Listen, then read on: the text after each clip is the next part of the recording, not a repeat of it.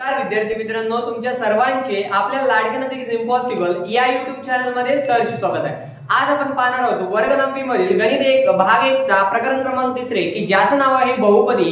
यामधील आजच्या व्हिडिओमध्ये अभ्यासणार आहोत सराव संख्या तीन दशांश दोन. आता मागील व्हिडिओमध्ये आपण तीन दशांश दोन याच्यावरती पार्ट वन आणि पार्ट टू चा व्हिडिओ आपण बनवलेला आहे. तुम्ही जर तो व्हिडिओ बघितला नसेल तर या व्हिडिओच्या डिस्क्रिप्शन बॉक्सला क्लिक करून त्या त्याच्यामध्ये तुम्हाला सर्वच्या सर्व व्हिडिओची लिंक दिसतात. तुम्ही त्या लिंक वरती क्लिक करून मागील सर्व व्हिडिओ तुम्ही पाहू शकता. तर चला तर विद्यार्थी मित्रांनो आजच्या व्हिडिओला आपण सुरुवात करूया. बघा विद्यार्थी मित्रांनो सराव संजी तीन दशांश दोन यामधले प्रश्न क्रमांक चौदा आपल्याकडे काय आहे त्याला आपण सोडवण्याचा प्रयत्न करूया.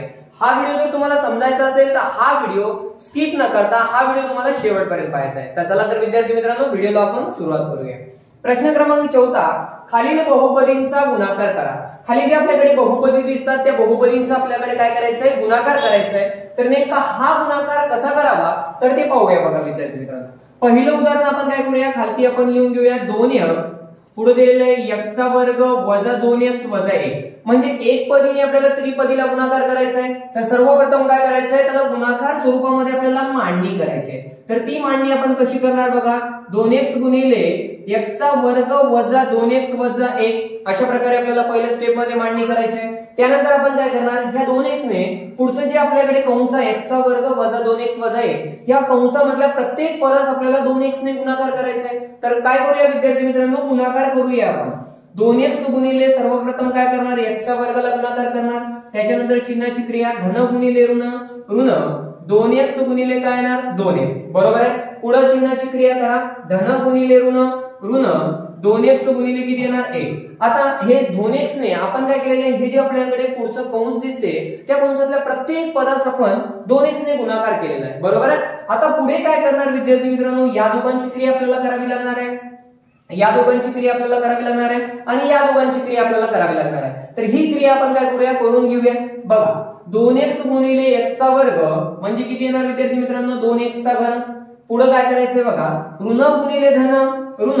दोन एक्स गुणिले दोन एक्स बे दोन्ही चार एक्स गुणिले एक्स म्हणजे एक्स एक्सचा वर्ग. बरोबर आहे? त्याच्यानंतर बघा ऋण गुणिले धन. ऋण.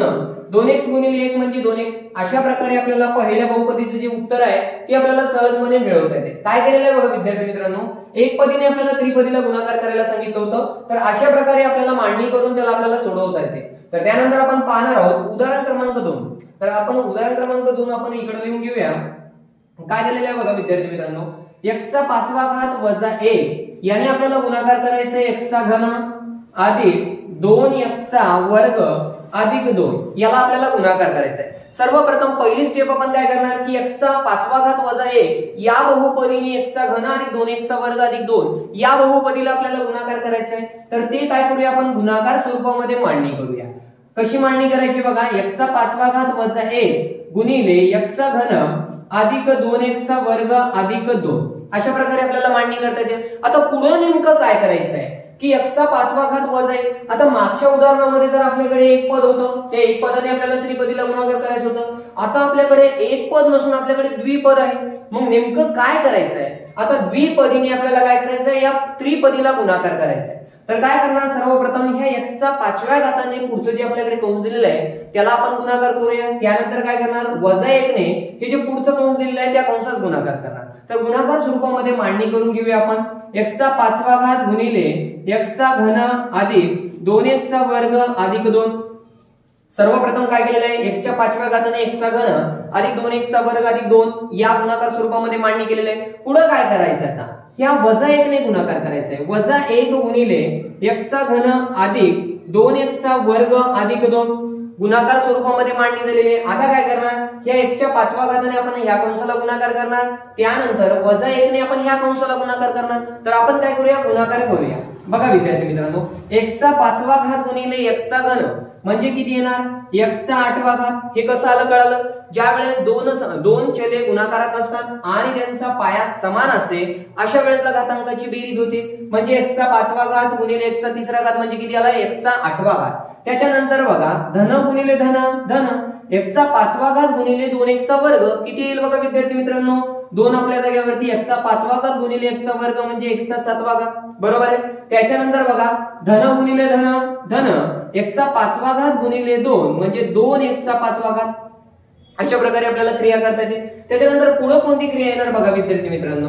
चिन्हाची क्रिया आपल्याला करावी लागणार आहे. सर्वात अगोदर चिन्हाची क्रिया त्याच्यानंतर आपल्याला करावी लागणार आहे संख्यांची क्रिया. ऋण गुणिले धन ऋण एक गुणिले एक्सचा घन म्हणजे किती येणार? एक्सचा घन. बरोबर आहे? त्याच्यानंतर बघा ऋण गुणिले धन ऋण. एक गुणिले दोन एकचा वर्ग म्हणजे दोन एकचा वर्ग. त्याच्यानंतर पुन्हा चिन्हाची क्रिया ऋण गुणिले धन ऋण. एक गुणिले दोन म्हणजे दोन. अशा प्रकारे आपल्याला उदाहरण क्रमांक दोन याला आपल्याला सॉल्व्ह करता येते. जर हा जर व्हिडिओ तुम्हाला आवडत असेल तर व्हिडिओला लाईक करा. आणि तुमच्या मित्रमैत्रिणींना सुद्धा हा व्हिडिओ शेअर करायला मात्र विसरू नका. त्यानंतर पाहणार आहोत या प्रश्नामधलं जे शेवटचं उदाहरण आहे ते नेमकं काय दिलेलं आहे बघा. दोन वाय अधिक एक पुढे दिलेलं आहे वायचा वर्ग वजा दोन वायचा घन अधिक तीन वाय. म्हणजेच द्विपदीने इथं पण काय दिलेलं आहे? त्रिपदीला गुणाकार करायचा आहे. तर त्याला व्यवस्थितपणे आपण मांडणी करून घेऊया.